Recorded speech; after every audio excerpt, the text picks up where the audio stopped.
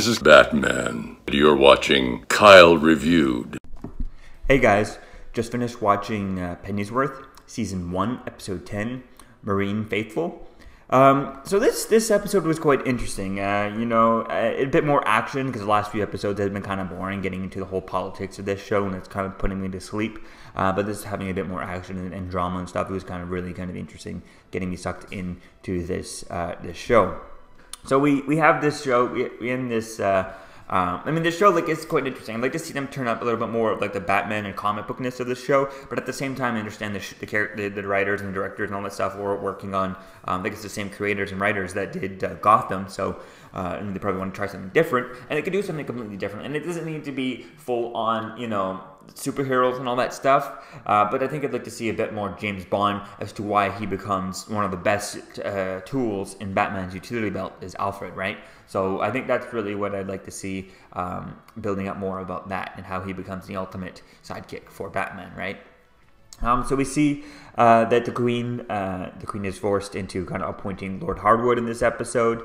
Uh, we see Alfred finds a way to get out of the country, but he's stopped at the docks. Alfred goes to Thomas Wayne to get out the country. Uh, that's when they decide to, to go, you know, save the queen, right? And so they all go save the queen together. Alfred's father um, holds a raven, or is leader of a ravens gathering type thing. So that was quite interesting. Alfred saves the queen. The queen and Alfred sleep together because of it. Um, so that'd be interesting to see where things go with that with that storyline. Um, if they stay together, type thing, that could be quite interesting maybe that would be something interesting to kind of later on tie that into somehow giving uh, him uh, access to maybe he becomes you know one of her right hand man type thing uh, and he becomes starts to do like you know he sends her on missions and stuff like that that nobody else wants to do making him the ultimate James Bond. I think that could be an interesting more storyline to going into uh, like season two or if we get other seasons. Um, as to recording this video we still don't have any uh, confirmation or the cancellation or anything like that for this show. So it's still I still have to wait and see as to where things are going to go with this. Um, but I think the idea of him and the Queen kind of sleeping together a little bit, but him also being the the Queen's ultimate kind of the one she trusts the most, right? The only person she can really 100% trust. And maybe she says, oh, this guy needs to go, you know, need you to do this, need you to do that, or to, and he can go do things type thing like that, um, being the ultimate James Bond directly from the Queen type thing. And I think that could be something quite interesting as uh, to play with uh, their relationship. We see Alfred's father plans to blow up the government, and he straight up does blow up the government. And Alfred just shows up and shoots his father, doesn't stop him from blowing up the place. And he looks like Alfred saves the queen. Um, it's unclear as to how Alfred walks out, and the queen, you know, is knocked out type thing. Um, although, yeah, she could have passed out or something. But uh, it was just a huge, just kind of a big explosion for him to walk out of. Um, and I'm just kind of just don't understand how that just a small, you know, maybe the cake was at most 12 inches by 6 inches, or let's say it was a, a, square cake out of, you know, 12 inches by 12 inches, which it wasn't, but let's say it was.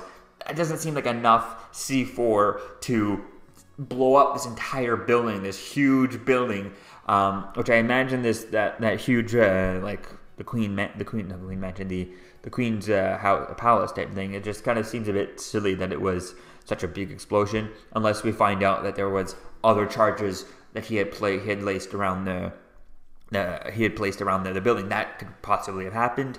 Uh, I could see that happening. Obviously, he's the butler, right? He gets access to all over the house, um, so I think that could be what could have been something interesting to see. Uh, so we'll have to wait and see where things go in the next uh, when we pick this up if we get a season two. But I think the idea is to seeing is where things kind of go with this and the relationship now between his his mother and um, will be quite interesting to see as to how things go um, and how things are going to get portrayed and how things are going to affect Alfred. You know, is he going to stay on?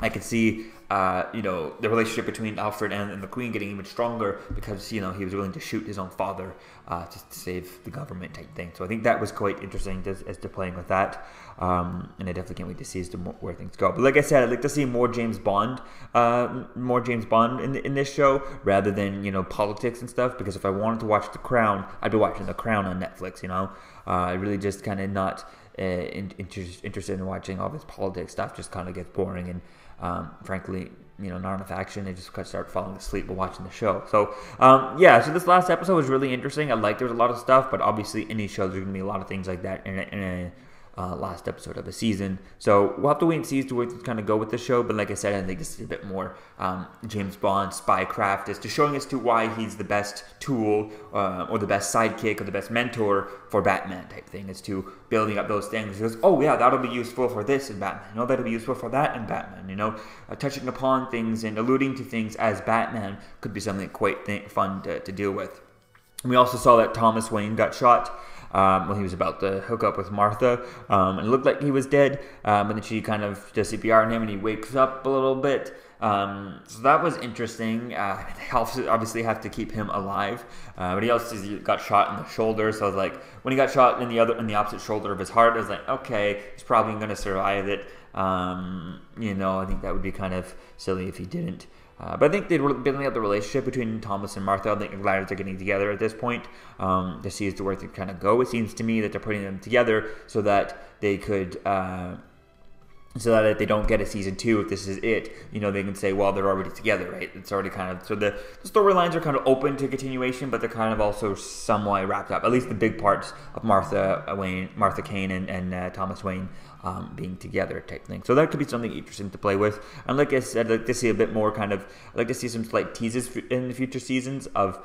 Uh, you know, of Thomas Wayne potentially becoming, uh, you know, the Earth Two Batman, where he's uh, Flashpoint Batman type thing uh, maybe even Martha Wayne, Martha Kane being, uh, you know, possibly being Joker. Just kind of seeing that, seeing teases in their personality that, oh, if something went completely wrong, they could, be, could completely lose. She could completely lose it and become the Joker, and he could completely lose it and become, uh, you know, Batman type thing. If you know Bruce Wayne would ever to get killed, I don't think I'd ever want to go and see that storyline in this show. Um, I mean, it, it would be something interesting to kind of turn that this show into that if that ever happened uh, in future seasons. But I, I don't think I'd like to see. I'd like to stick in this and play. You know, not get to the Bruce Wayne, uh, Bruce, you know, Bruce Wayne being born until like maybe season 10 if this makes it that long so uh, i'd like to see but possibilities of teasing those those personalities could be quite fun so let me know what you think, guys, about this com- this show in the comments below. Uh, what would you like to see out of season two? Um, which type of characters would you like to see? Would you like to see more characters from the comics? Because uh, right now I feel like it's just kind of you got three characters that are named after the characters from the comics, and that's about it. They're just using the DC label to sell the show. So I think you gotta have to be more than just you know three labels from the DC. Uh, DC canon, so they need to go a bit deeper. So let me know what you think, guys, about this in the comments below, and I'll see you guys in the next video. Peace out. Hi, this is Kevin Conroy, talking to you from the library of Wayne Manor. You may know me as Batman. I just want you to know that you're watching Kyle Reviewed. Like, share, comment, and subscribe. I am vengeance. I am the night. I am Batman.